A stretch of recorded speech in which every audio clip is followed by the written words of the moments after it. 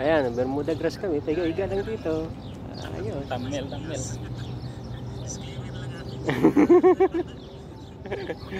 Paiga-iga lang sa Bermuda grass. Ayan o. Oh, oh, di ba? Oh, ayan yung isa. Patripad-tripad lang. Walang wala. Ayan o. Oh. Lupit. Wala eh. Ayan na. Wala eh. Walang kwentang cellphone. iPhone lang eh. Sige lang. Kakabili rin ako niyan. Ayan o. Ay, sarap dito sa kaiga. Hindi naman yung mga dumi, mga ano lang. Mga layang dahon. Malinis to ngayon kasi ano eh, walang tumatambay. Tsaka ano to, araw-araw may maintenance dito talaga. Tingnan mo nga doon sa malayo, nagdidilig na. oh. Mamaya-maya may magwawalis yan. Chap, pero napakalinis yan. Linis na naman mo sa minto, ang lilinis na.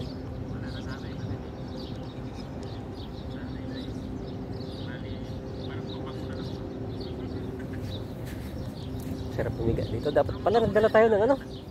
Kumot. Hindi yung parang karpet na maliit. Tapos, Sarap sa atin, sarap higaan to Bermuda eh. Lalo pag ano, yung malaki yung buwan. mm, Sarap higa sa Bermuda. Sa bagay yung mga ibang lahi tol, wala man, nakahiga lang sila dito. Minsan tulog pa nga eh. Dinaanan, dinaanan nga namin doon sa Barwa, nakabike ano. Mga tulog sila sa Bermuda. Ano, ano na yun, mga alas 7 na ng gabi, alas 8. Kahiga sila.